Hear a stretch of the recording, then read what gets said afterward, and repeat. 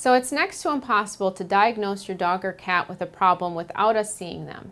If you're worried, we always encourage you to bring them in to be evaluated.